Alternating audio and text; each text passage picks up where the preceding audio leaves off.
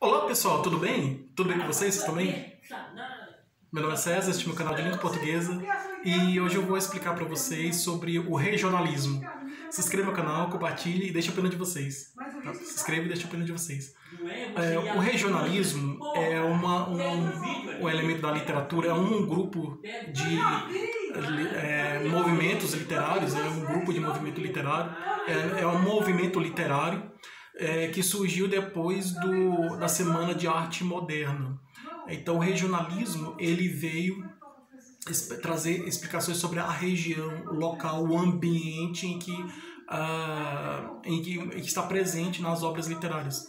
Uh, eu já havia feito já havia falado sobre o romantismo, em que os escritores do período do romantismo é, esqueciam a realidade, eles fugiam da realidade uh, esquecia os problemas da realidade, fugia dos problemas da realidade, fugia da realidade e procurava uh, se esconder na fantasia, na, no sonho. Então eles se refugiavam na, na fantasia, no sonho. Então os é, os escritores do romantismo fugiam da realidade e procuravam a fantasia, o sonho e a fantasia. Então é, essa é a característica do, do período do romantismo. No realismo, ah, é o contrário. Eles é, não fugiam da realidade, procuravam mostrar os problemas da realidade, do que aconteceu, é, das coisas que acontecem na, na realidade, e procuravam mostrar em suas produções literárias, nas suas criações, suas produções literárias, as, as coisas que acontecem na realidade, os problemas da realidade, os problemas sociais, problemas econômicos, políticos, é, sociais e é, ambientais também problemas da, da, da realidade. E é, surgiu no período do. do na, o, a, isso foi o, a, essa é a característica do, do realismo.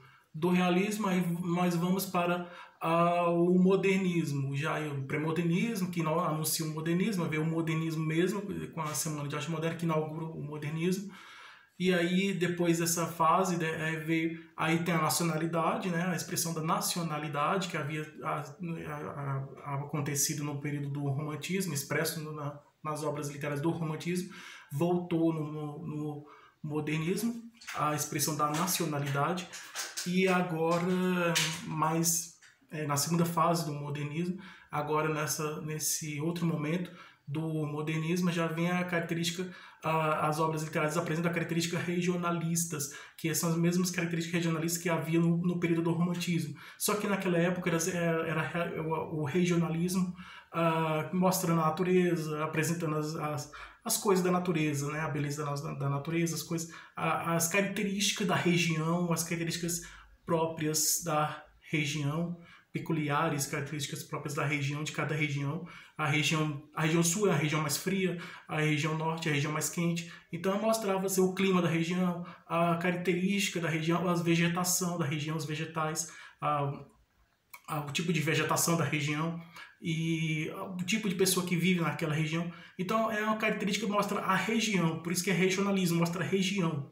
Então que veio desde o tempo, do tempo do, do período do, do, romantismo. Aí foi para o, o, realismo, o realismo já mostrou os problemas da região, é, que a, o modernismo mostrava, o romantismo mostrava a, o regionalismo de forma assim, é, escondendo os problemas, né? não apresentava os problemas da, da região, mostrava as características da região, somente as características da região e como é aquela região, é, sem apresentar os problemas. Já o realismo ele já mostra os problemas, o realismo naturalismo mostra os problemas da região. E depois veio o modernismo, mostrou a, veio apresentar as características da região, mas com aquela intenção de apresentar a nacionalidade, né, a nacionalidade brasileira, a expressão da nacionalidade brasileira. É, no primeiro momento do, do modernismo. Então, sem mostrando mesmo as características da, da, da região brasileira, várias regiões brasileiras, é, as características naturais da, da, da, da região brasileira. Agora, no regionalismo, vem trazendo as características próprias de cada região. Então, a região norte tem sua própria característica, a região nordeste tem sua própria característica, a região centro-oeste tem sua própria característica, a região sul tem sua própria característica, a região sudeste também tem sua própria característica. Então, os autores de cada região, um autor é, um escritor, um autor é, da região Nordeste, ele vai escrever uma obra literária expressando as características da região onde ele mora, que ele é, ele é do Nordeste, nordestino, é do Nordeste, da região do Nordeste, nasceu no Nordeste, ele é nordestino. Então ele vai, vai criar obras literárias em seu livro, vai, vai criar obras literárias com características próprias daquela região, daquela região onde ele nasceu, daquela região onde ele mora, daquela região onde ele vive. A mesma coisa a pessoa que tá, nasce no sul, que vai trazer característica, vai criar obras literárias com característica daquela região do sul, que ele é de lá. Então cada um dentro da sua região vai apresentar, cada escritor, cada autor é, vai, cada escritor, cada autor de, de cada região vai a, apresentar a característica própria de cada região, da região própria onde ele mora. Então, é isso. Cada escritor, cada autor vai apresentar característica própria da, da sua região, da região onde ele mora, da região onde ele nasceu, onde, da região onde ele viveu, da região, da região onde ele vive, da, da característica própria da, da, da região onde ele está. Então, e ele vai mostrar em suas obras literárias os problemas que acontecem, né? É, por exemplo, na região Nordeste. Aí temos muitos autores da região Nordeste, escritores, autores da região Nordeste. E a maioria deles, eles apresentam uma característica em comum. Uma, a característica em comum é a seca, né? Porque é uma região de clima quente e por, por ser uma região de clima quente, é, tem a seca, que a seca é um fenômeno da, da natureza, que acontece principalmente na região Nordeste. Então ele já presenciou essa pessoa, é, esse autor, esse escritor, esse autor, ele já ele presenciou o fenômeno da seca. E aí ele vai apresentar esse fenômeno da seca em sua obra literária. Então, é, isso está presente, né? O, o, o tema da seca, o problema da seca, está presente em várias obras literárias de, de muitos autores do Nordeste, da região Nordeste. Por exemplo, temos o exemplo do Graciliano Ramos. Graciliano Ramos foi um escritor, é um escritor do Nordeste. Se não me engano, ele é da região. Ele é. Ele é de Alagoas. Ele é escritor nordestino de Alagoas. Ele escreveu o livro Vidas Secas. É o Graciliano Ramos. É, só confirmando aqui mas é mais ou menos isso. É, vidas secas, Graciano. É isso mesmo. Então, o escritor ah, Graciliano, o escritor Graciliano Ramos escreveu o livro Vidas Secas em sua obra literária. E nesse livro, é, nessa obra literária em que ele escreveu, essa obra literária que ele criou, ele apresenta, ele apresenta justamente, ele apresenta o problema da, da seca, da seca da região Nordeste. Tem um outro, um outro escritor é, que também apresenta a questão da seca, o, a, o problema da seca da, da, da, região Nordeste, é a Raquel de Queiroz. É, ela também, assim como a Raquel de Queiroz, assim como o escritor Graciliano Ramos, a Raquel de Queiroz também apresentou o problema da seca, né, no livro 15 também. A gente pode fazer a comparação dessas duas obras literárias, o 15 de, de Raquel de Queiroz com Vidas Secas de Graciliano Ramos. A gente podemos encontrar muitos pontos em comum, essa comparação dessas duas obras literárias desses dois autores. Ah, podemos encontrar a seca, né, a questão da seca, o problema da seca, é, que está presente naquela região, na região do Nordeste. Então, o escritor o Graciliano Ramos, né, no livro Vidas Secas, ele retrata muito bem, ele mostra muito bem a seca, os problemas da seca, as pessoas, como vivem as pessoas nessa região, é, as dificuldades que as pessoas têm de viver naquela região da seca, é, a pobreza, a fome, é, o, o, sofrimento que a pessoa passa naquela região, né? E de viver naquela, naquela região da seca. Então o ambiente ele está determinando a vida daquelas pessoas, né? o ambiente, no caso lá, a seca. Então aquelas pessoas são pobres, elas passam por, por aquelas dificuldades no livro de Vidas Secas, as pessoas da, nessas obras, esses personagens dessas, dessas obras, eles passam dificuldades é, que são resultados do ambiente que eles vivem, que é a seca, que é o ambiente é, nordestino e que, que tem a seca. Né? Então, a, é, um, é um ambiente que vai transformar a vida das, daquelas pessoas. Né? Por isso que eu, eu tenho esse nome, Vidas Secas. É, Então ele retrata muito bem, o Graciliano Ramos, é, é, é no seu livro Vidas Secas, retrata muito bem esses problemas é, que as pessoas é, passam naquela região, naquela região que tem a seca. Então, e enfrenta todas essas dificuldades, né, passam por todos aqueles sofrimentos, todas aquelas dificuldades. E ele vem mostrar esses problemas, essas dificuldades que essas pessoas têm, é, que as pessoas passam, né, né no seu, do seu livro, na sua obra literária. Então tem o 15 de Raquel de Queiroz, que trata, que trata do problema da seca, o A Vida Seca é, de Graciliano Ramos, que também trata, trata do mesmo problema, né, fala também da, do problema da seca. Tem o, o Menino de Engenho, de José Lins do Rego, ele é pernambucano, ele escreveu o livro, vários livros do ciclo da cana de açúcar. O primeiro é Meninos de, Meninos de Engenho, que trata fala da, da dos engenhos, né? o engenho de cana de açúcar lá da região nordeste, lá, lá de Pernambuco. É, então ele vai mostrar é, é, é começando do, do, dos engenhos até a, a chegar na usina, né? Então é, mostra como é a vida naquela época em que havia os engenhos, né? os engenhos de cana-de-açúcar. Então, a primeira obra de José Lins do Rego, O Menino de Engenho, é, do ciclo de cana, da cana-de-açúcar, né? a primeira obra do, do ciclo da cana-de-açúcar, O Menino de Engenho, de, José Lins do Rego, vem mostrar isso aí. É, vem mostrar sobre como eram os, os engenhos né? de cana-de-açúcar, como era, como era hum, a vida na, na, nos engenhos lá, né? Da, da cana-de-açúcar é lá da, da região nordeste também, né? De, mais especificamente de Pernambuco. E aquele é de lá, de Pernambuco, então ele vai mostrar essas obras no, é, da, da região do, do, do, nordeste de Pernambuco. Outro escritor pernambucano também é o. É o é, ele, é bem, ele é bem conhecido, ele é bem, bem famoso, bem conhecido é o Aguinaldo Silva. Ele é pernambucano também, assim como José Lins do Rego, ele é pernambucano. E ele, ele se destacou, ele fez, ele, ele trabalhou na delegacia de polícia, então ele era escrivão da delegacia de polícia, então ele começou a escrever é, nisso aí que teve a experiência com a escrita. Depois ele foi trabalhar, fazer apresentação peças de teatro e foi chamado para televisão e, e ele apresentou obras literárias, né, novelas, né, na teledramaturgia. Então ele é o rei da tele, teledramaturgia, o rei do, horário nobre. A maioria das novelas dele, que são apresentadas no horário nobre, é, trata justamente disso, da região Nordeste. Então, as, as novelas de Agnaldo Silva, as novelas de Agnaldo Silva, mostra uh, a grande maioria das novelas do, do, de, de Agnaldo Silva mostra a região Nordeste, lá daquela região de Pernambuco, da região Nordeste, é, daquele da mostra o clima da região, mostra, traz características daquela região, da região Nordeste. Então, ele é um escritor regionalista né, da região Nordeste.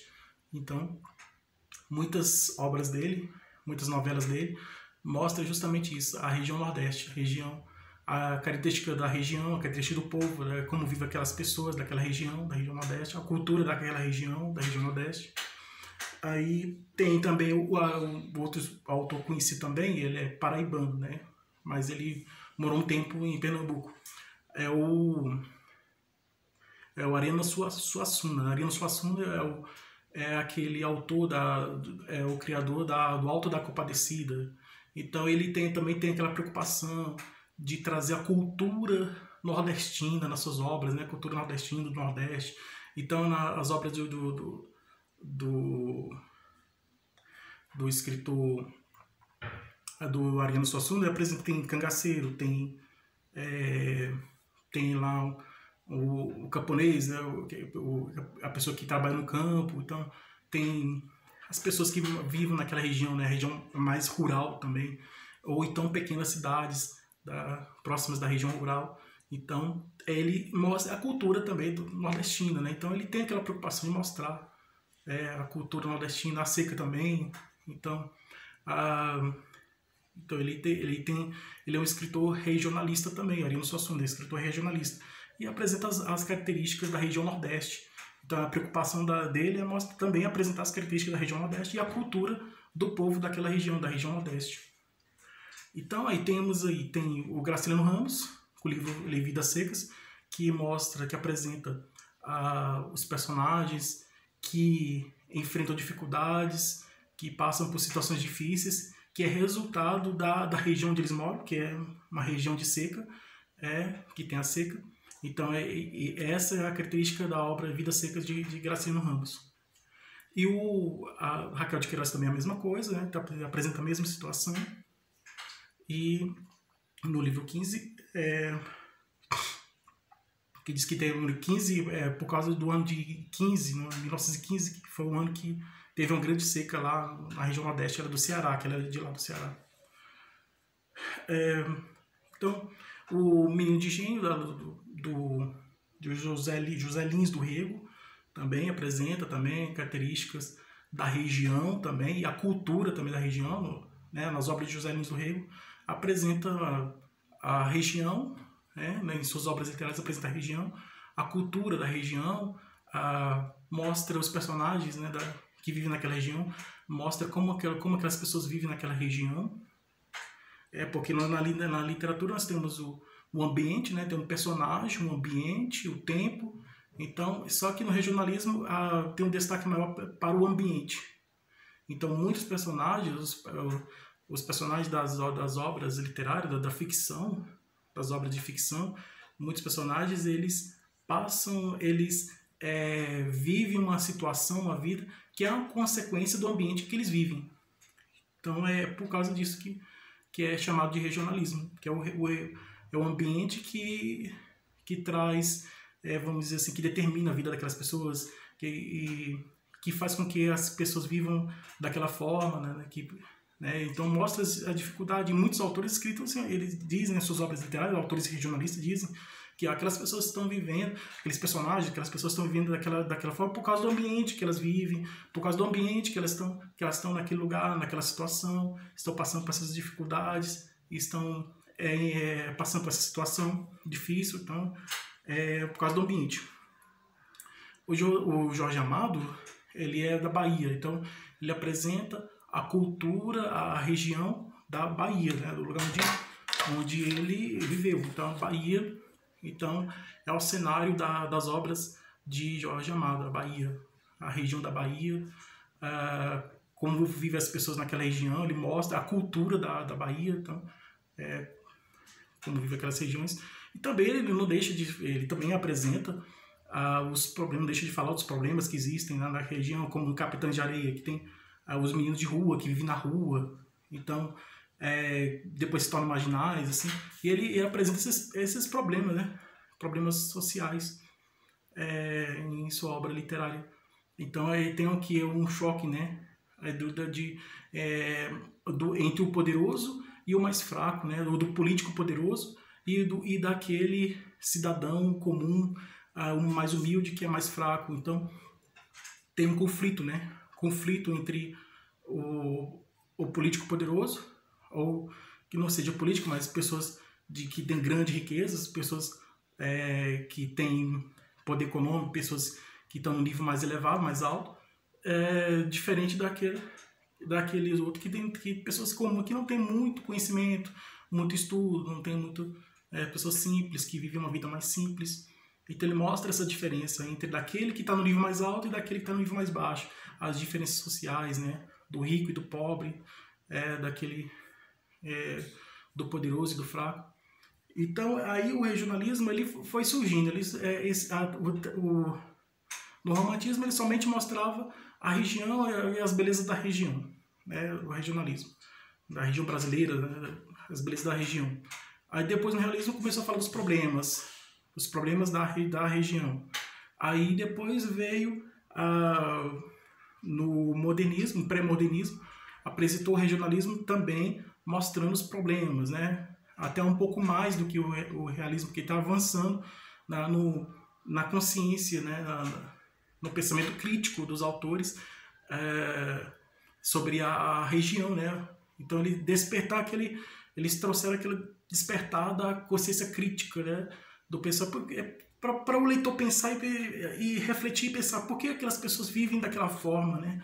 Por que aquelas pessoas vivem daquele jeito? Por que aquelas pessoas vivem daquela forma? Então, e os autores vão dizer assim, elas estão vivendo daquela forma por causa da região, por causa da região onde vivem, tudo.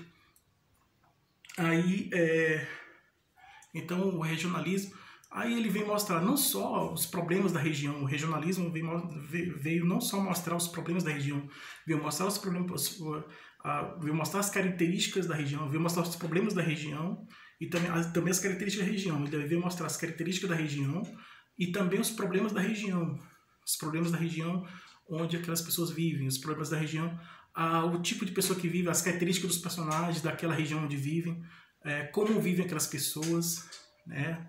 Vai trazer assim a característica dos personagens mesmo, das características dos personagens, como eles vivem, se eles, eles vivem de uma forma mais simples ou de uma forma mais nobre, como eles ele mostra assim como como eles vivem esses personagens e, e também apresenta a todos esses elementos, né?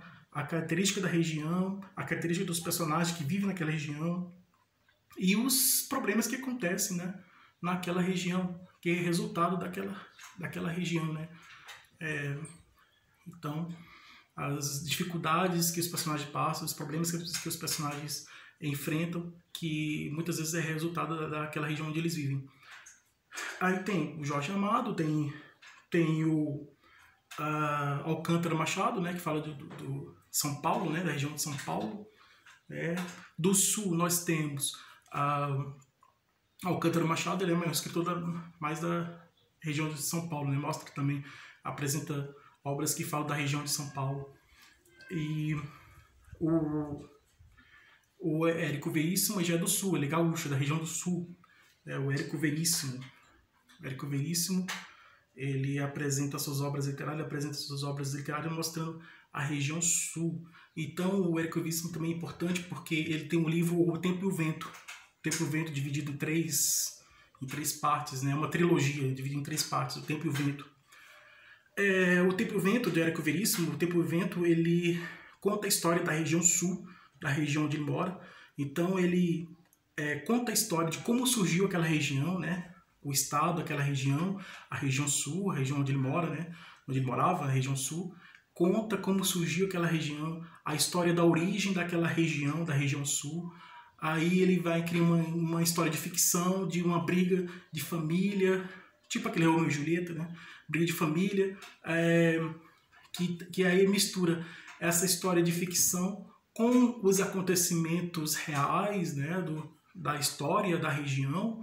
Então, Aí passa da, aí ele vai contar a origem da região, a origem do surgimento daquela região, a história da, da origem daquela região, a história do surgimento daquela região e misturando esse fato histórico que aconteceu realmente na, na realidade com, a, com os acontecimentos ficcionais, com os acontecimentos de ficção que, que ele criou, né, dos personagens lá, da família, das famílias, né, da briga entre famílias lá, da guerra que, que existia entre as famílias e tudo que teve até um de uma família que, é, que namorou uma pessoa de outra família inimiga, é, tipo aquela história de Romeo e Julieta, mais ou menos isso.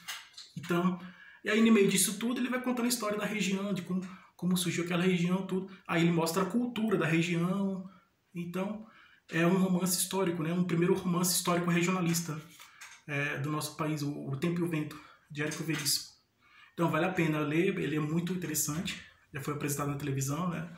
É, então, é uma obra muito importante. É um romance, é um, é um épico, é um, é um gênero épico, uma epopeia, um gênero épico, é, que vai além do romance, né? é um gênero épico que conta a história da região, da, de como surgiu aquela região e de como vivem aquelas pessoas daquela região e a cultura daquela região, a presença da cultura daquela região. Então, a o Jorge Amado apresenta a região uh, do Nordeste, né? É, o Jorge Amado e os outros escritores também. É, então, o Jorge Amado apresenta a região Nordeste. A cultura da, da, da região Nordeste, os personagens que vivem na região Nordeste, as pessoas que vivem na região Nordeste, como ele apresenta a região Nordeste, como é aquela região Nordeste, aquela região do Nordeste, e a, a, a, apresenta as características da região, além de apresentar as características da região do Nordeste, do Nordeste apresenta os personagens que vivem naquela região do Nordeste, os problemas que eles enfrentam naquela região do Nordeste e a cultura também da região do Nordeste. O Érico Veríssimo faz a mesma coisa, ele apresenta a região Sul, apresenta as características da região do Sul, aí além de apresentar as características da região, Sul, apresenta os personagens que vivem na região Sul, Aí apresenta também os problemas que vivem as pessoas na região sul. E além disso, ele também conta a história da origem de como surgiu aquela região. Então isso é muito interessante também. Porque, diferente de Jorge Amado, ele conta a história de como surgiu aquela região, né? A origem daquela região, como surgiu aquela região. É, o Érico Veríssimo, em sua obra literária, O Tempo e o Vento, né? O Tempo e o Vento do, do Érico Veríssimo tem essa característica. Então, temos aí vários autores de regionalistas, vários, vários autores. Uh, o, a, no pré-modernismo eu tinha falado do Monteiro Lobato, né, que, que apresenta a característica rural, né, da região rural de São Paulo, daquela região de São Paulo, né, característica rural, é, do caipira Jacatatu, né, que fica lá, ficava naquela região lá, não queria trabalhar, e aí depois o Monteiro Lobato disse que ah, ele não queria trabalhar, mas é, chamava ele de preguiçoso tudo. Depois ele compreendeu, disse que, que não queria trabalhar porque estava com problema de saúde, ali foi se tratar, é, foi no médico, é, se tratou, curou o problema da saúde e teve força para trabalhar, começou a trabalhar. Então ele disse assim: ele não é assim, é, o Jacatutu não é assim, ele está assim, porque ele estava doente, ele estava com problema de saúde. Então aí depois que ele é, foi no médico, o médico passou remédio, tomou remédio, ele se curou, ficou e teve força para trabalhar, começou a trabalhar. É, tanto que depois ele é, mostra o Jacatatu rico já, já por causa do resultado do trabalho dele, né? Ele começou a trabalhar. Mas ele também disse que, que as pessoas pobres, né? É, que vivem aquela situação como vivia o Jacatatu, de pobreza tudo, é por causa da, da, dos poderosos, né? Que não, não olhavam para aquelas pessoas, né? Não tinham aquele olhar para aquelas pessoas, pessoas pobres, né? Aquele um caipira que vive numa região, na região rural, tudo, e aí é, não tem muito conhecimento, muito estudo, e é uma pessoa simples e e assim é, e ele falava da importância dos estudos né? Que é importante ter porque ele falava dizia o seguinte é, quem não lê mal fala mal ouve mal vê. Então é importante você ter conhecimento né? E como ele não tinha conhecimento ele era, era vamos dizer assim era enganado pelos poderosos né? Então era enganado pelos poderosos tudo. Mas depois, mais na frente, ele mostra esse mesmo personagem trabalhando, estudando, e ele se tornou uma pessoa melhor, que depois ele chama de Zé Brasil. Então é o seguinte, que o Brasil passa nessa situação de pobreza, dificuldade, mas ele tem chances né, de sair dessa situação e de se tornar um país melhor.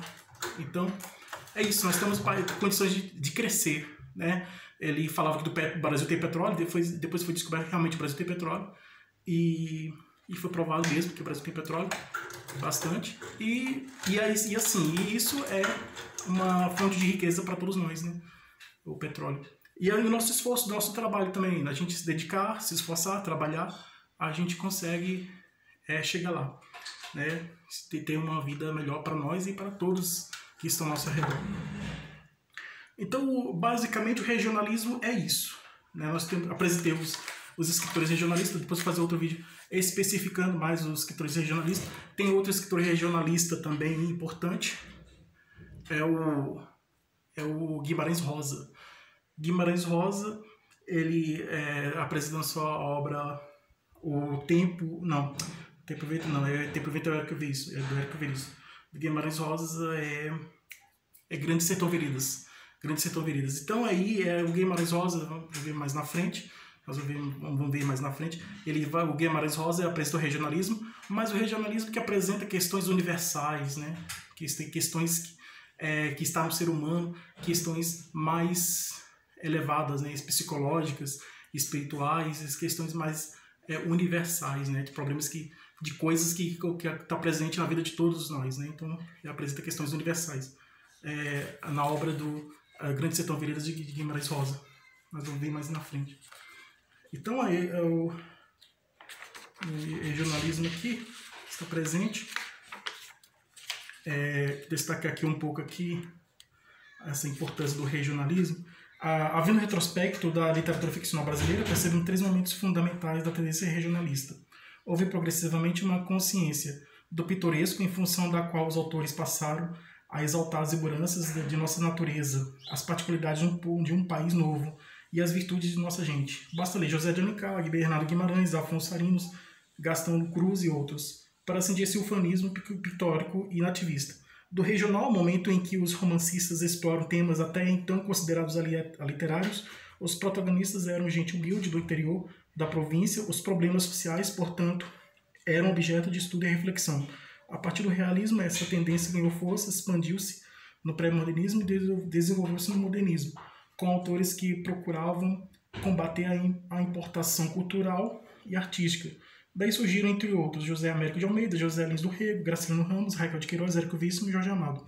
O superregional, em que os ficcionistas uh, ficcionistas, ainda que dentro de um gênio, cenário pitoresco e regional, suscitaram problemas mais gerais e universais. Nessa esteira estão Guimarães Rosa, José Cândido Carvalho, Adonis Filhos e outros.